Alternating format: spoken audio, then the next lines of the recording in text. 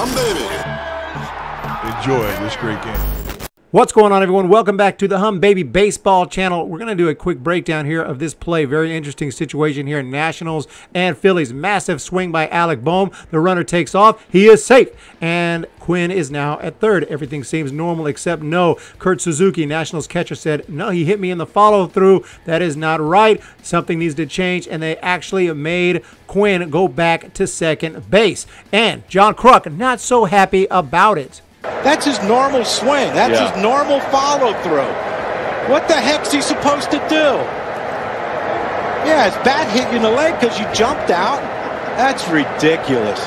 Let's look at it from this angle. As you can see right here, catcher does stand up, going for the throw. It is his natural swing. Bohm, completely natural, nothing weird there. Suzuki turns around, complains about it, and the call is made. And like I said, announcer's not happy about it. They're always making mistakes, but we have to refer to the rule because I can't act like I'm an expert on this unless I check it out. And if you look at the rules on the backswing, and we'll also check out catcher's interference because normally when something like that happens, you think it's going to be catcher's interference, especially if it's a normal looking swing. But backswing follow through hits catcher if a batter strikes at a ball and misses in the umpire's judgment unintentionally hits the catcher or the ball in the back of the batter on the follow through or backswing while the batter is still in the batter's box, it shall be called a strike, but the ball is dead and no runners shall advance.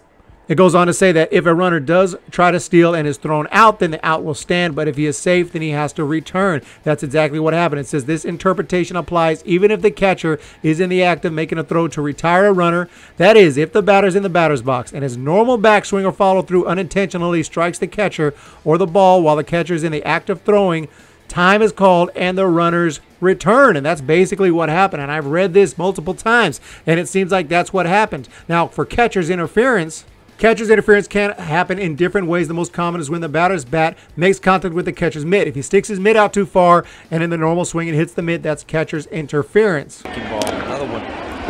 Ouch. Catcher's interference. Catcher's interference again. Is, is, yeah. And Joe was talking about it again. They thought they had it yesterday as well. This particular play looks a little more like the original, like the backswing interference call, and I don't know. You guys let me know what you think down below. Was this the right call right here? According to the rules, it feels like it might have been the right call on this field, which is insane because I rarely agree with umpires, especially Joe West. Look at Joe West's smug right there. Look at that face. I want no part of that. But in this case, he might have been right. Let me know what you guys think down below. Hit that subscribe button. We're going to talk to you next time. See ya.